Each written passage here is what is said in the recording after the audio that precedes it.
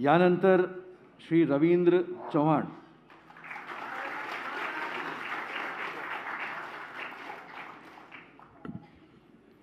मी मी रवींद्र दत्तात्रय चव्हाण ईश्वर साक्ष शपथ घेतो की कायद्याद्वारे स्थापित झाले आहे अशा भारतीय संविधानाबद्दल मी खरी श्रद्धा व निष्ठा बाळगेन.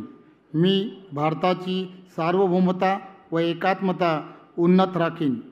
मी महाराष्ट्र राज्याचा मंत्री म्हणून माझी कामे निष्ठापूर्वक व शुद्ध बुद्धीने पार पाडीन आणि संविधान व कायदा यानुसार सर्व तऱ्हेने लोकांना मी निर्भयपणे व निस्पृहपणे तसेच कोणाच्याही विषयी ममत्वभाव किंवा आकस न बाळगता न्याय वागणूक देईन. मी मी रवींद्र दत्तात्रय चव्हाण ईश्वर साक्ष शपथ घेतो की महाराष्ट्र राज्याचा मंत्री म्हणून माझ्या विचारार्थ आणली जाईल किंवा मला ज्ञात होईल अशी कोणतीही बाब असा मंत्री म्हणून माझी कामे यथायोग्य पार पाडण्यासाठी आवश्यक असेल ते खारिज करून एरवी मी कोणत्याही व्यक्तीला किंवा व्यक्तींना प्रत्यक्षपणे व अप्रत्यक्षपणे कळणार नाही किंवा त्यांच्याकडे उघड करणार नाही.